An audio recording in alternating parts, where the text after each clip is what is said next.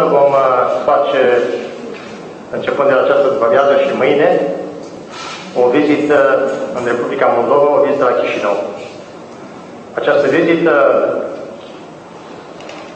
are loc într-un moment uh, deosebit de important din perspectiva, pe de-o parte, a relației noastre bilaterale, româno-franceze de conlucrare și de cooperare pe teme europene și relevante pentru Europa.